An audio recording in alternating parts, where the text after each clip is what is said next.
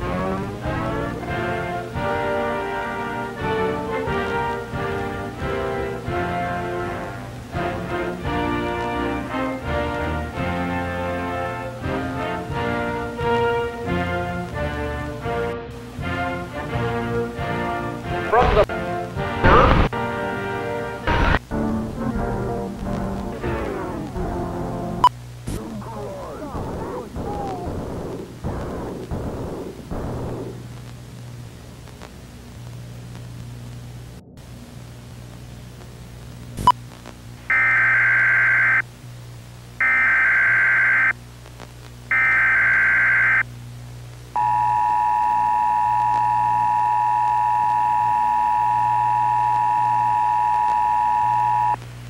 Message is transmitted at the request of local authorities.